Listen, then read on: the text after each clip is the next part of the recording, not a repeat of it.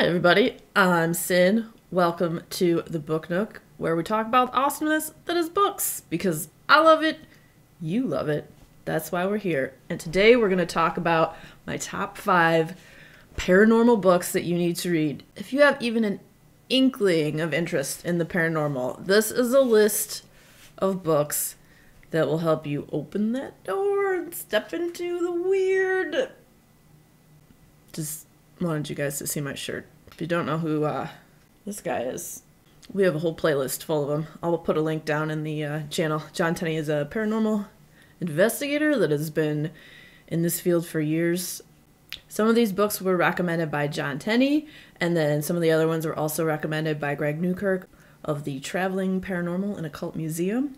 And then I think one of them was uh, just something I had seen in Hellier, which is the docu series that Greg and Dana Newkirk made, which I've mentioned in a few videos, and I can put a link to that down on the channel as well if you'd like to check it out because that's all related to paranormal, and that's what we're talking about today. So let's get into it.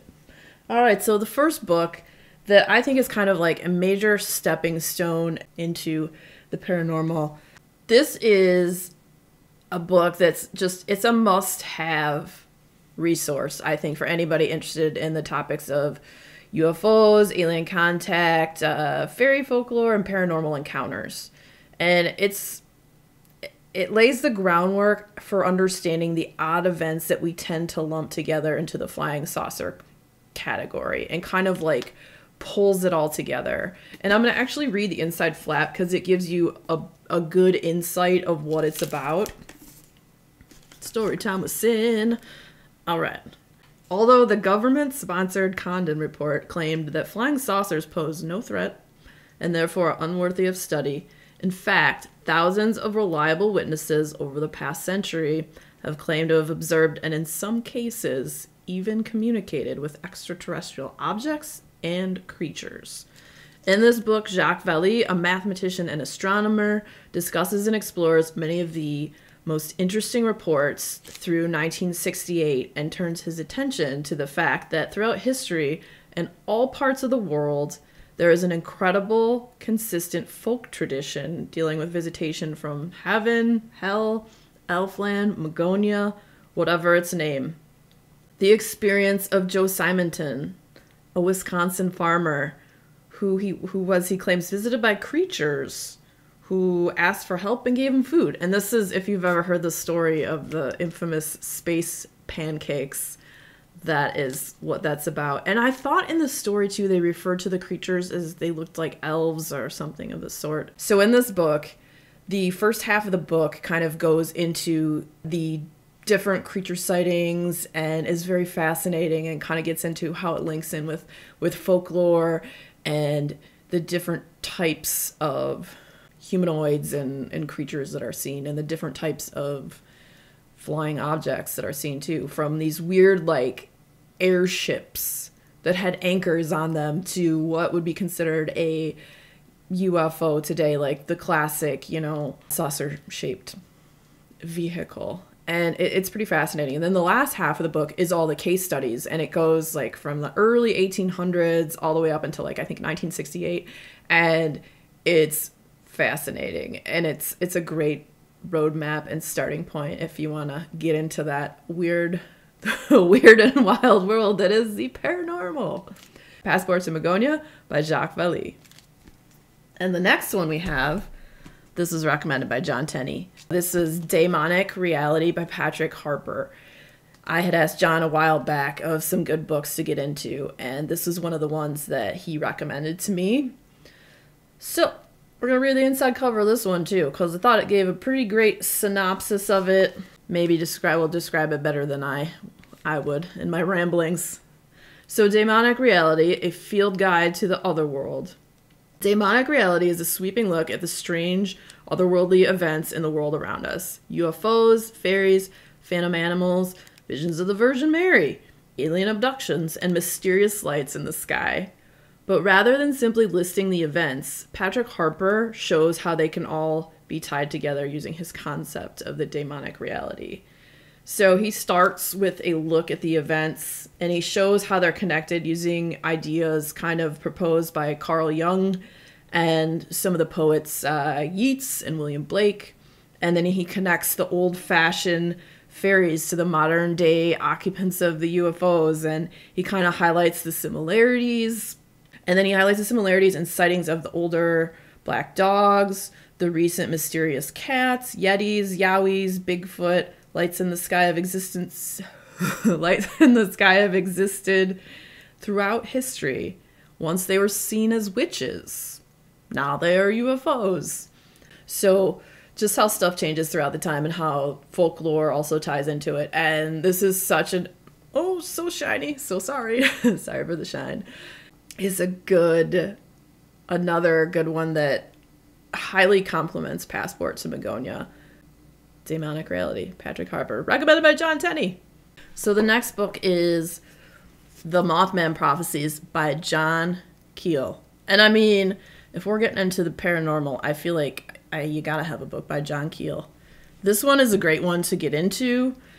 It is all about the weird events that happened in Point Pleasant, Virginia in sorry, I got to look for the year 1966. So I'll read you the back, give you a synopsis of this one as well. We actually visited Point Pleasant, Virginia this past year. But let me let me read this real quick and then I'll talk about that.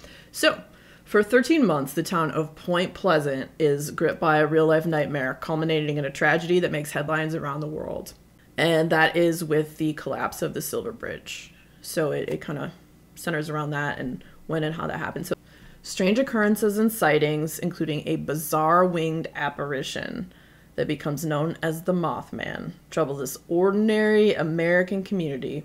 Mysterious lights are seen moving across the sky, domestic animals are found slaughtered and mutilated, and journalist John Keel, he arrives to investigate these weird events that are going on, and he finds himself an integral part of an eerie and unfathomable mystery. They also made this into a movie. So if you wanted to check out the movie too and read the book, whichever one you want to do.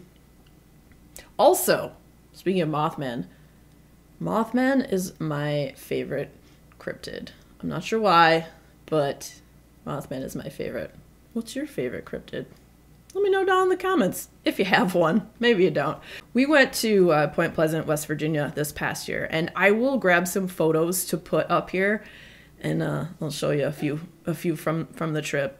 We went to the domes where they had so they talk about the TNT domes, which were old military storage unit units, basically for weapons. And so we went there and they're they're all abandoned and they're in this like weird swampy area and it's really hard to find. There's no sign and we drove around for like two hours trying to find the TNT area. It took a long time but it was worth it because it was pretty cool. And inside the domes, there's this crazy echo. And it's just it's it's a little disorienting and weird, but oh, it was so cool. It was so cool to see it, especially after seeing Hellier. If you've seen Hellier, you know.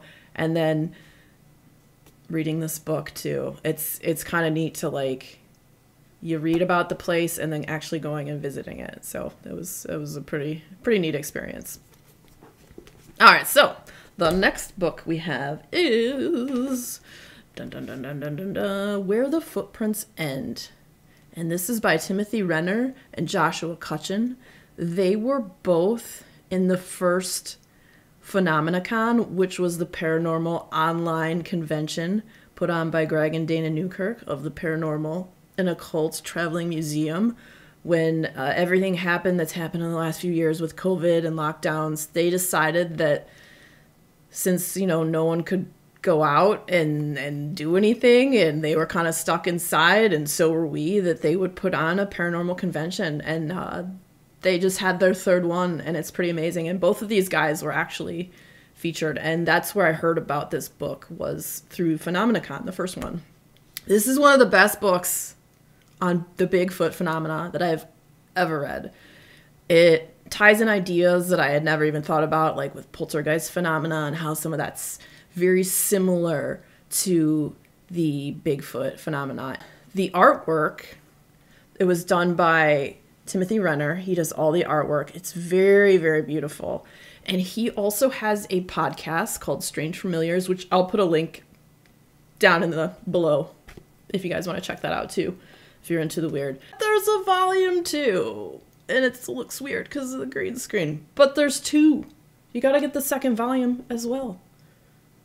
So I'm gonna read you a little bit of the synopsis to whet your appetite. That sounded awkward. All right, well, anyways, I'm gonna read a little bit of this to tell you a little bit about it.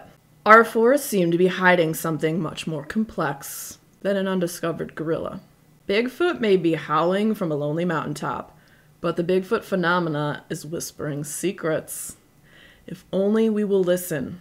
Eyewitnesses, investigators, and cryptozoologists worldwide contend ample evidence exists supporting the survival of large, hairy, ape like creatures alongside mankind today, lurking in the wilderness. By all appearances, these beings seem wholly natural, interacting with their surroundings and leaving behind hair, blood, droppings, and of course, footprints.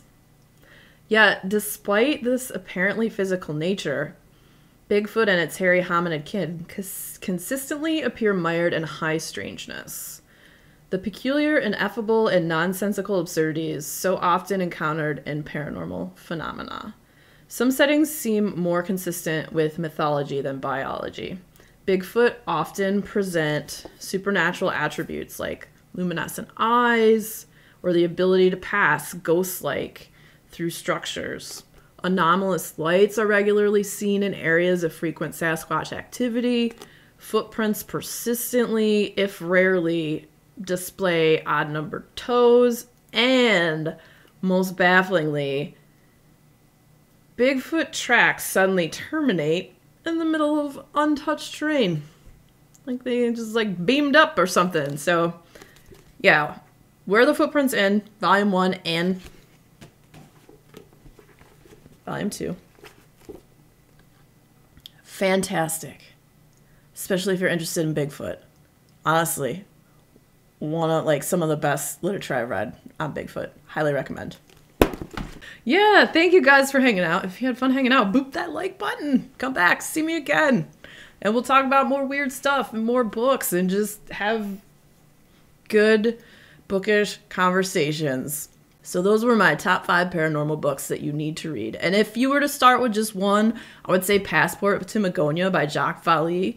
Just like I said, it's a roadmap. It's such a great book, and it just it gets your your toe in the waters.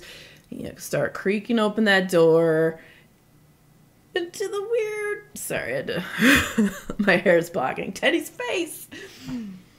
Until next time, read a good book, stay weird, and we'll see you later. Bye.